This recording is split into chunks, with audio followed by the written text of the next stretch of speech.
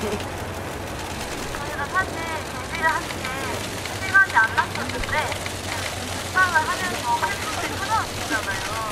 아 그거 한 시간까지 듣다 보니까 진짜 새로운 연습을 너무 좋아요. 응원해서 너무 감사하고 팬분들이 엄청 힘들어. 맞아요. 진짜 힘들죠. 무대는 한게 더 있는데요.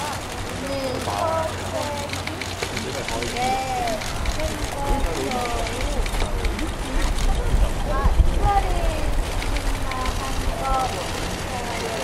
준비한 게 있나요? 네. 네. 솔로 코코도 준비한 게 있나요? 준비한 거 있어요?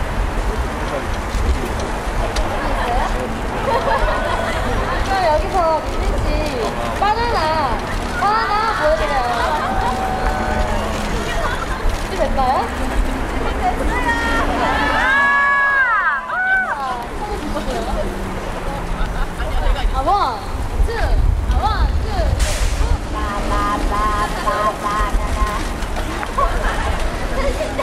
真的是没骗你没骗